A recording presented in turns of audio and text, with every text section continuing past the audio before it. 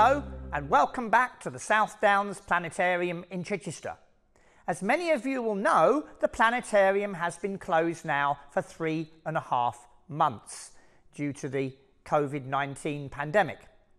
Of course, we want to open as soon as we can to welcome you all back to the planetarium, but we're not going to do that until we are absolutely sure that we can make this place safe, COVID secure for you, our visitors, and for all of our wonderful volunteers.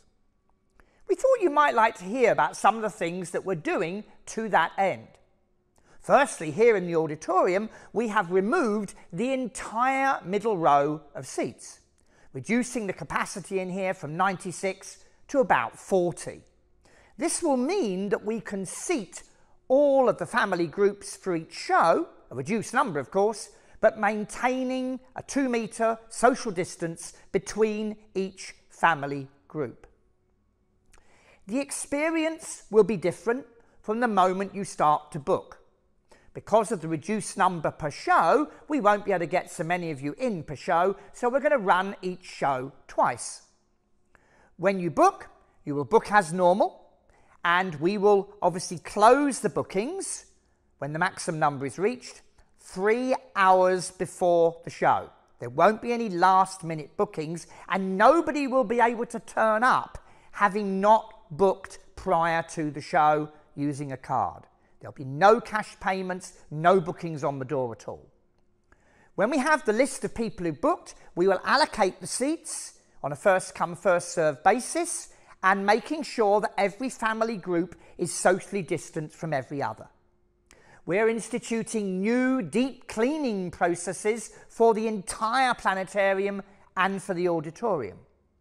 When the moment you arrive and you're met by volunteers in the car park, the experience will be a little bit different to what you might have had before. Family groups will be admitted at one minute intervals to the planetarium. You will have the temperature measured on your forehead when you enter the door to make sure your temperature isn't 38 degrees or over. And providing your temperature is lower than that, you'll then be admitted where we'll check your name on the list. All you'll need to do is to know the name on the booking. There won't be any phones or paperwork or anything required. We will then usher you into a waiting area where we'll again maintain social distancing measures. If you want to go to the toilet, there are queues for both the gents and the ladies, but again, socially distanced, and we'll only be uh, admitting people one at a time to the toilets, and that'll be managed by one of our volunteers.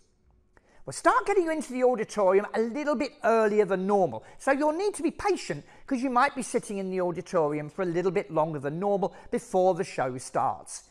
We'll get everybody to their allocated seats, again making sure that everybody is correctly socially distanced in the auditorium itself. When the show starts, it'll run just the same as normal. We'll go through the normal uh, evacuation procedures and the show will run for about an hour and the content will be just the same as it's always been.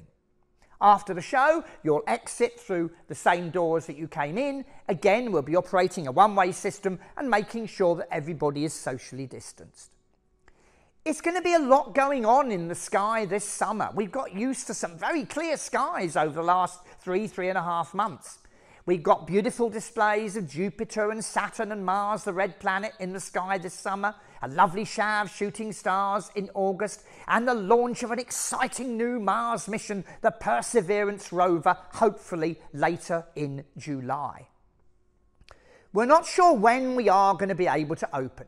We hope it'll be sometime in August during the normal school summer holidays, but you'll need to keep an eye on our website and we will obviously open the bookings for shows uh, several weeks before the date of the first show. We look forward to welcoming you back to the planetarium. The shows will be the same as ever.